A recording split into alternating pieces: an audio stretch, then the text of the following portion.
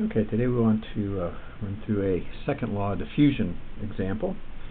And so remember, second law um, involves a change in concentration at some point in the problem. So for example, we could have a part given here, and let's say it's a 1040 steel. And what we're going to do is put it in an environment, probably with some carbon monoxide or some such in, in this environment at elevated temperature, and that carbon dioxide is going to disassociate, and the carbon is going to end up diffusing into the surface of the part. So we have um, second law because we start with an initial concentration and then we're adding carbon to the material. So let's say this is in a furnace. It's running at about 1100 degrees C. The furnace environment gives us a surface concentration of about one and a half uh, weight percent carbon. And uh, let's say we want to uh, cook this for some length of time in order to produce what we call a case. And a case is simply a hardened surface. Um, that surface will have a specified chemistry and a specified depth. And the depth is determined based on engineering principles that you will learn in machine design. Um, if you're mechanical, and if you're civil, you'll just have to trust a mechanical to do that kind of stuff for you. But anyway, um, sorry, it's just carbon. And so the goal is to get a case of 4 millimeters, in this case, about uh, where we get the carbon content to half a weight percent. And of course, that means the carbon content will be significantly higher than half a weight percent as you move up towards the surface be approaching one and a half at the surface. Now beware, the surface concentration is not the concentration out here in the atmosphere, it is the concentration of carbon on the surface or in the very surface layer of the part. That's a function of uh, atmospheric concentration, the material, the temperature, several factors. All right, so the question here is what we would need to figure out is we want to find how long this needs to be treated. Okay. So, solution, obviously this is second law. Oops, that pen is not working.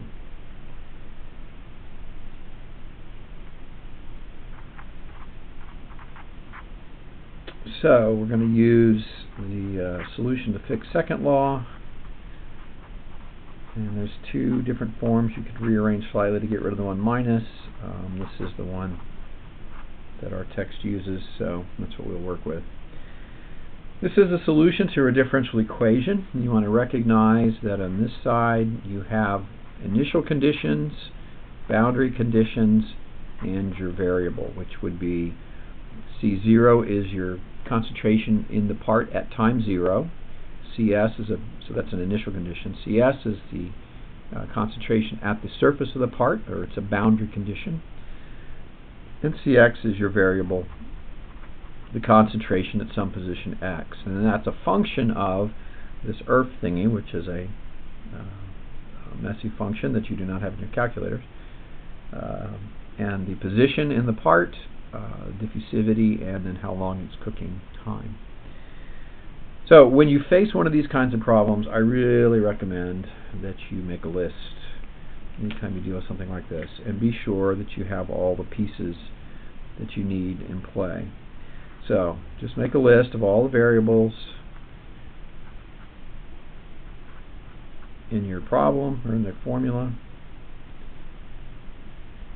and we just start plugging in um, identifying them. So Cx is my target concentration to half a weight percent. Now C0 is my concentration at time 0 and if you look I didn't actually give you a uh, word description of that, but the alloy specification tells us what that composition is. So let's just have a little aside here. We'll just do a bubble. In the ASTM steel alloy designation, you have four digits. First two digits, XX, tell me the alloy family.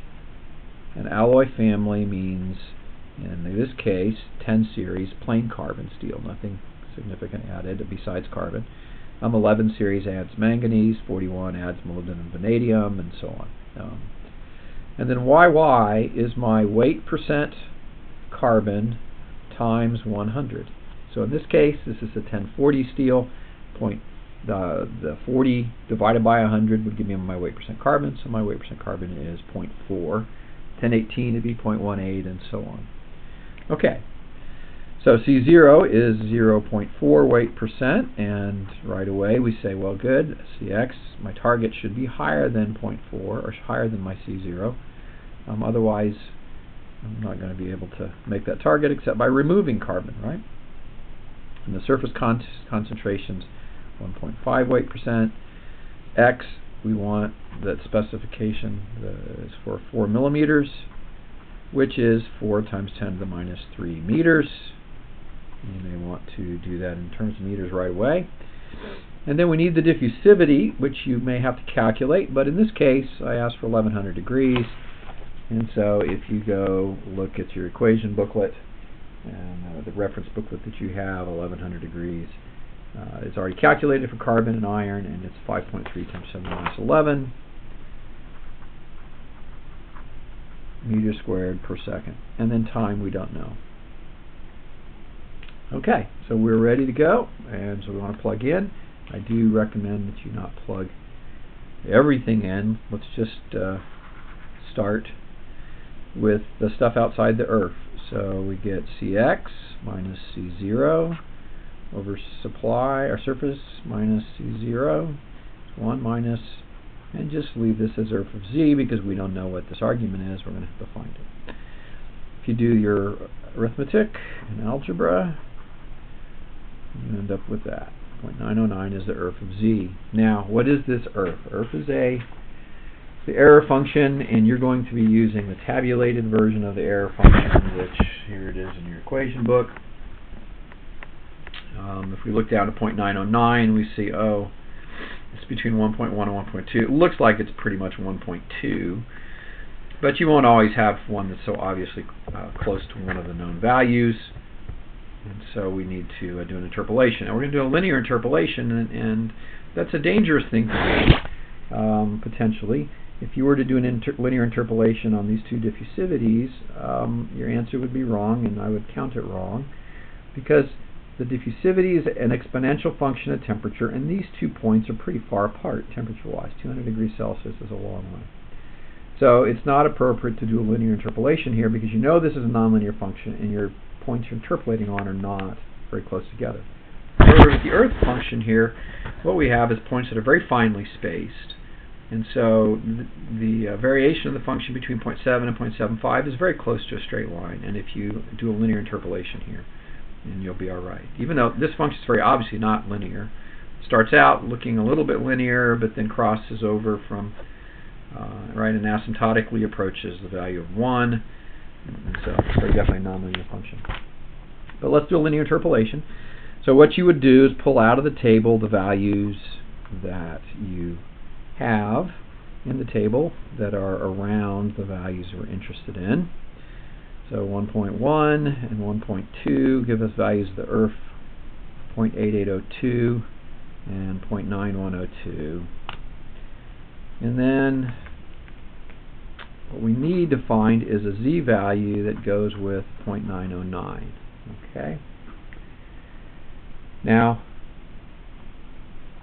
what we're going to set up is that this difference is proportional to that difference and divided by that difference and that divided by that difference. We're going to take the red over the blue differences. We get z minus 1.1 and this is going to be 0.909 minus 0.8802 and these are work as a ratio proportional divided by the total distance or difference And if we turn the crank and solve for z, you'll find that z is actually 1.2. So because we were really close to um, that value on the table, you would not have been introduced significant error by not interpolating, but I wanted to show you the process. Alright, so now what that says is we know the value of z, of the argument of the erf function, and that value z has to equal x over 2 times the square root of dt. And we know x and d, but we don't know t, so we can solve for our unknown t. So the relationship that we have is that z is x over 2 square root dt. Now if we rearrange this to t is equal to x squared over 4z squared d, we can just plug in our knowns, right? x is going to be 4 times 10 to the minus 3 meters, and you need to use meters because your diffusivity is in meters squared per second, and so for that to work, you need meters there. And then z is unitless, just 1.2.